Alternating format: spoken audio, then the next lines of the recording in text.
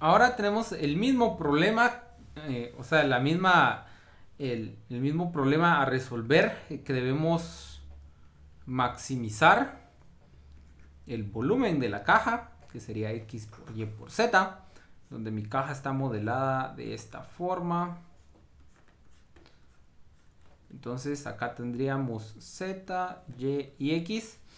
Y aquí vamos a estar sujetos a eh, el área superficial. El área superficial ya vimos que en este caso va a ser X por Y más X por Z más eh, Y por Z.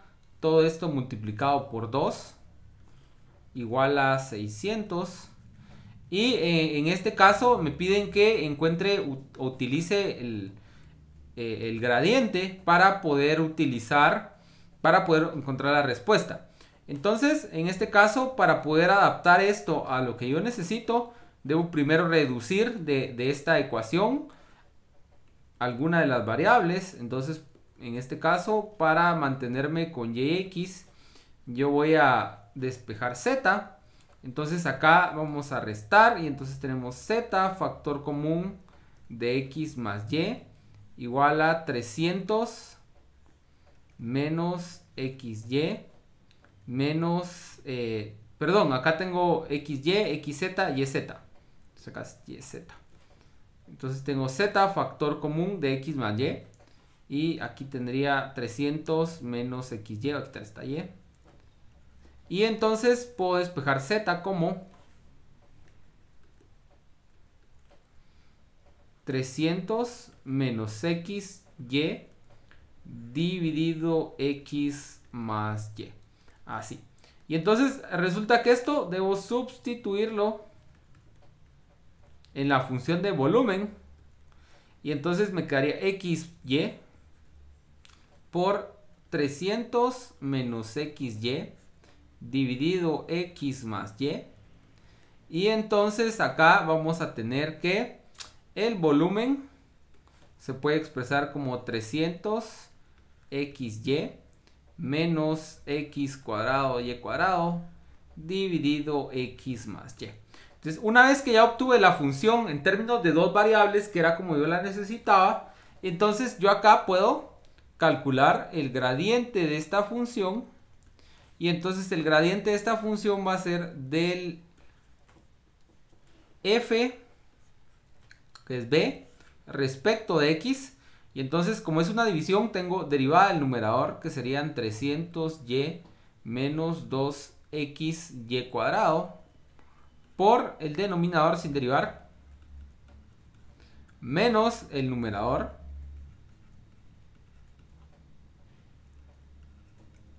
por la derivada del denominador que es 1. Todo esto dividido el denominador al cuadrado. Y ahora vamos a hacer lo mismo con la derivada respecto de y. Para derivar respecto de y tengo derivada del numerador que serían 300x menos 2x cuadrado y por el denominador sin derivar menos el numerador sin derivar Acá no tengo espacio. Que el gradiente es inmenso en este caso.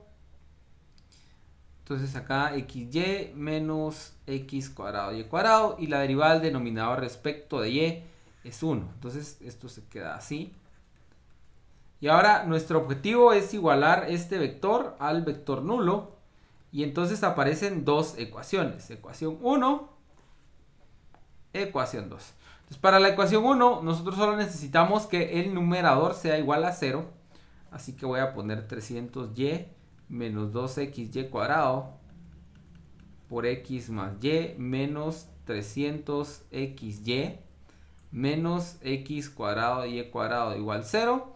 Y en el, la ecuación 2 tengo 300x menos 2x cuadrado y por x más y menos 300 xy menos x cuadrado y cuadrado igual a 0.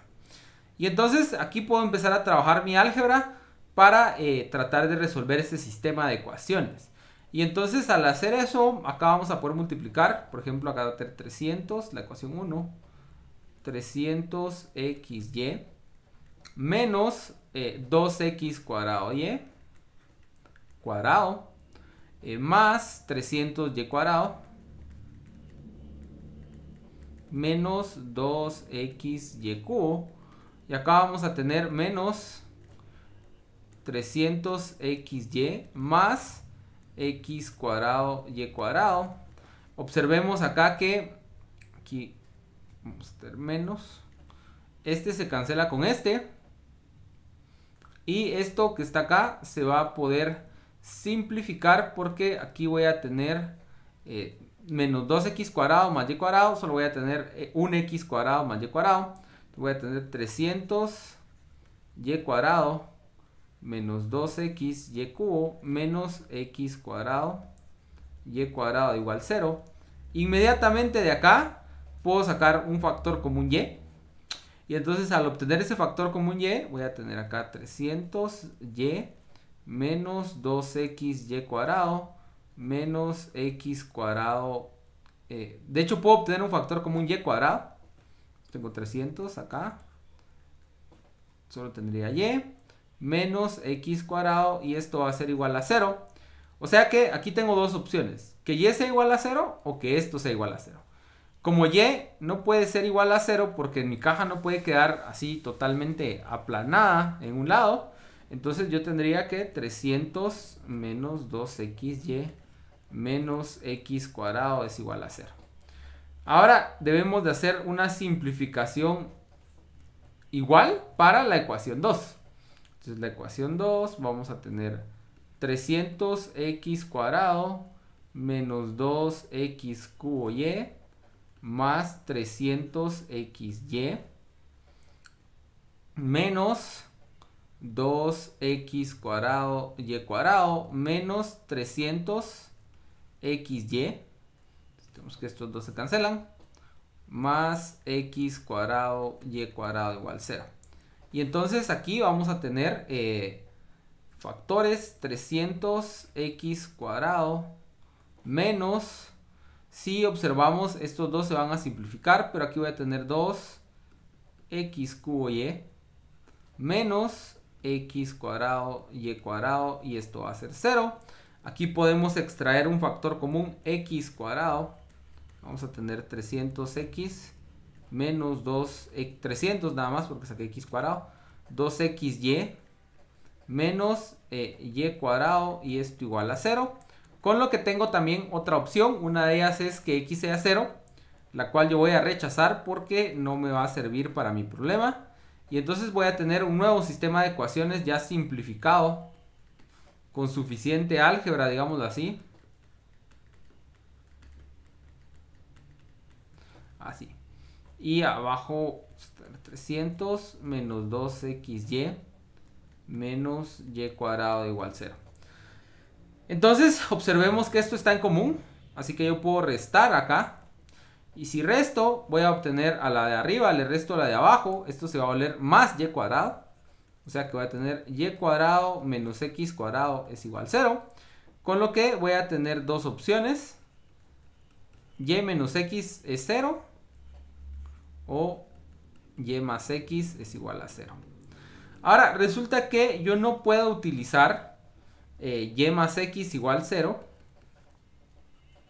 Porque entonces y sería igual a menos x. Entonces un lado sería positivo y el otro lado sería negativo, lo cual no va a funcionar para una caja. Entonces me quedo con la opción A, que me diría que y menos x es igual a 0 y entonces y debería ser igual a x. Ahora con y igual a x, yo puedo sustituir aquí, por ejemplo, y entonces voy a tener 300 menos 2x cuadrado menos x cuadrado. Sería un menos 3x cuadrado igual a 0. Y entonces acá tenemos un factor común 3.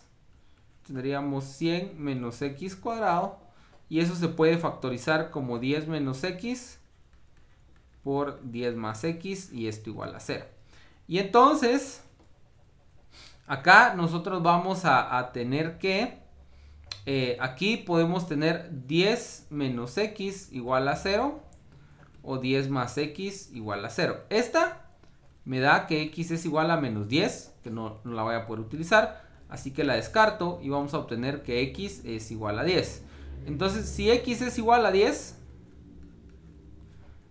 y es igual a x, y ahora solo me falta obtener z, que lo puedo obtener de la ecuación que yo sustituí acá. Entonces sabemos que z es eh, esto, pero x es 10 y y es 10. Entonces acá vamos a tener 200 dividido 20. Entonces cancelamos así, ¿verdad? Y entonces tenemos 10. Entonces aquí tenemos que z es igual a y igual a x igual a 10 centímetros.